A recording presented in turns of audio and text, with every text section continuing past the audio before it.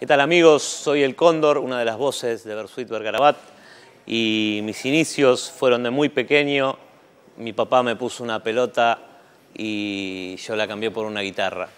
Eh, fue así que a los ocho años empecé a dedicarme a la música y de muy pequeño estuve haciendo tango y folclore hasta que la vida me llevó para otros rumbos y, escuchando un poco de Flaco, Spinetta, un poco de Pescado y toda esa música, eh, me empapé también de, todo lo que es el, rock nacional e internacional de a poquito y aquí estamos, señores y señores, haciendo música para el mundo.